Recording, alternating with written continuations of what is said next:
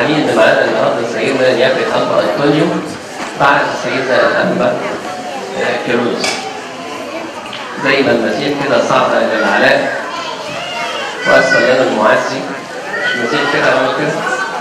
برضه سيدنا سيدنا كيرلس وارسل لنا المعزي سيدنا الانبا انطونيو عشان يباركنا الكلام كامل. النهارده كمان موافق تذكار الدكتور سناتو اللي كان من الناس اللي في دور كبير في الكنيسة.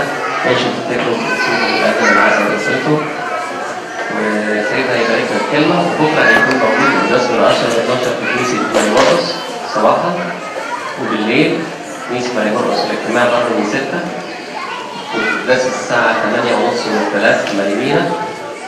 والاجتماع في ماريمينا الساعة 6 كل واحد حسب وقته. سيدنا يباركنا الكلمة عشان بسم الله الرحمن الرحيم. مش هطول عليكم كلمة صغيرة. الكلمة اللي عاوز أقولها إن ال- الإنسان الإنسان المسيحي مطالب إن لابد أن يعيش حياة الكمال. الإنسان المسيحي مطالب إنه يعيش حياة الكمال.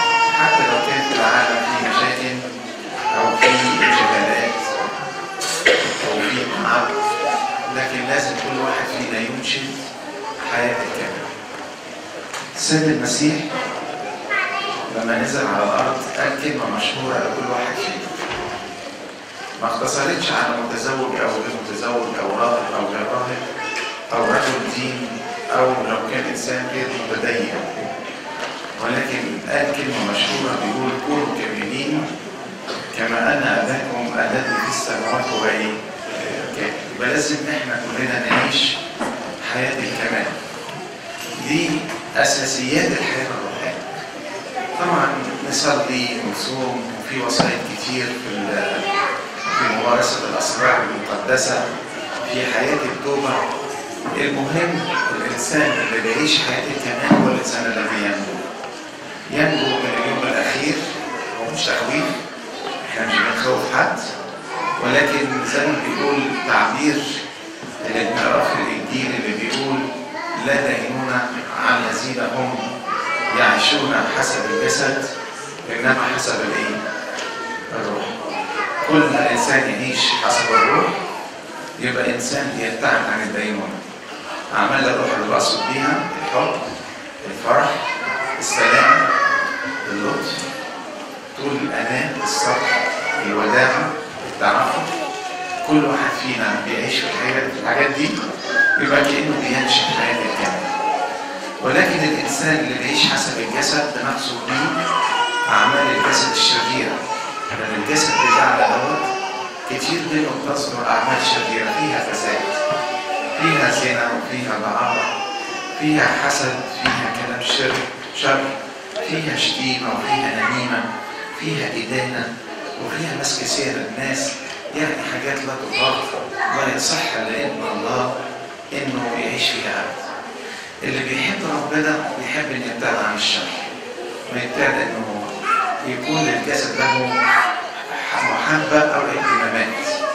ولكن الإنسان الروحاني لابد أن يقترب من الله من خلال أعمال الروح.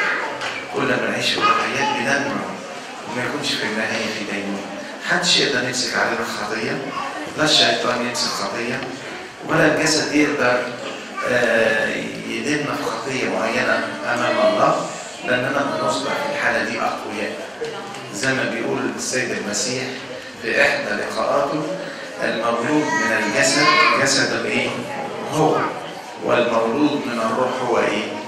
كلمة المولود من الروح مش بيقصد المعمودية ولكن بيقصد أعمال الروح المفروض إن إحنا مطالبين إن إحنا نعيشها. يعني ما ينفعش الإنسان المسيحي يكون يعني المسيح يتكلم عن المحبة وتلاقي عندنا في الكراهية مثلا. أو السيد المسيح يتكلم عن الوداع وتلاقي الإنسان يسكن في كبرياء أو الذات. أو الإنسان مثلا المسيح بيوصينا إن إحنا ننظر إلى أعين إن ننظر إلى أنفسنا في خطايانا زي المرأة الخاطئة لما بيقول لها أدانك أحد قالت له ده أحد يا سيد قال له أنا لا أدينك إحنا ما ندينش حد إن إحنا نتمسك بأعمال أنفسنا في القديم ربنا أوصى موسى هذا التعبير بيقول له إيه؟ بيقول له ها أنا ذا أشهد عليك السماء والأرض. أنا أجعل قدامك طريقان طريق الحياة وطريق الإيه؟ الموت. طريق الحياة وطريق الكمال. وطريق الموت هو طريق النقص. اللي هو أعمال الجسد الشرير. لو الله انتهى في وصيته لموسى لهذا الحد كلنا هنخاف من ربنا. ولكن بنلاقي ربنا بيكمل الوصية. عشان يلزمنا في كل عمل فبيقول لنا إيه؟ فاختار إذا طريق الحياة لكي تحيا أنت واهل بيتك. الإنسان اللي عاوز يحيا هو واهل بيته لابد من اختار طريق الحياة. يعني واحد فرحان ان الكنيسه مليانة، كنيسة فيها شعب، كنيسة بتيجوا بتصلوا بس يا ريت يكون صلاة عمق مش صلاة مجرد روتين أو تاديب واجب أما عشان الكنيسة متوصلة إن كل يوم ناس يكونوا متواجدين في الكنيسة ولكن إحنا بنيجي هنا عشان بننشد طريق الكمال طريق الروح اللي هو طريق الحياة. طريق الحياة هو طريق الخلود.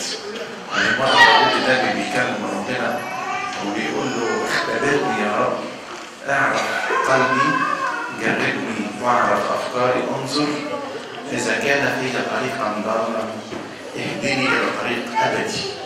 يعني دول عنصر لقلبي. لو كان في خدش أو لو كان في حياة فيها موت أو حاجة بتبتعد عن الجسد أو بتقربني من أعمال الجسد وتبتعد تبعدني عن طريق الروح انظر إذا كان فيا طريقا ضالا يعني شيل هذا الطريق الضال من الحياة عشان أحيا امامك بطريق صالح دول ابائنا القديسين اللي بيعلمونا هذا الطريق. طريق الروح طريق الكمال عشان نحيا إحنا مع المسيح. طريق الحياة اللي بنقصده في الكتاب المقدس هو طريق الخلود.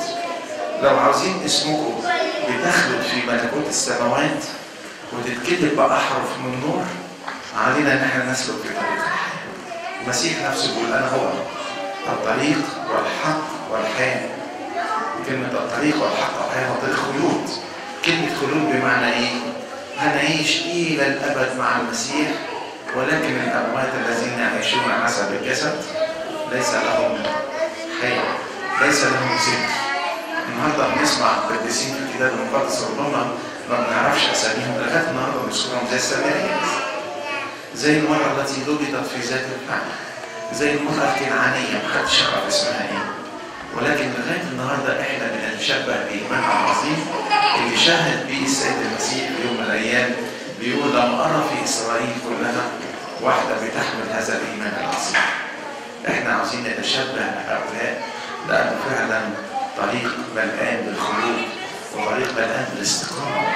زي ما بيقول داوود قد سكت خطواي أو قدمي خطواتك فبزلت رجلي.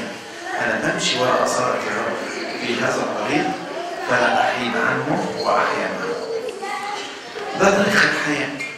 طب طريق الشر لأن طريق الشر زي ما بيقول الكتاب المقدس يحذرنا منه كان بقصد الشر مش بس أعمال الشر اللي بنعملها لما بنتكلم عن الإدانة والنميمة والكراهية والبغضة وكل الحاجات اللي إحنا بتطلع من الجسد الوحشة اللي بيتكلم عنها الكتاب المقدس يقول كده الكتاب المقدس عن طريق الأشرار امنع رجلك عن مسالكهم ولا تدخل في الطريق معه دي وصية الكتاب مش واحد يديني سجارة أمشي معاه واحد يديني أي حاجة مثلا فيها أنسى مبادئ الله الوصية أمشي معاه.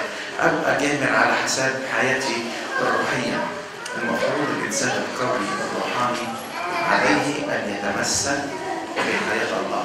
امنع رجلك عن مسالكهم ولا تدخل في الطريق معهم ودي أول مضمون بيقول داوود النبي بيقول طوبى للرجل الذي لم يسلك في مشير مشورة المنافقين وفي طريق الخطى لم إيه؟ لم يقف وفي مجلس المستهزئين لم إيه؟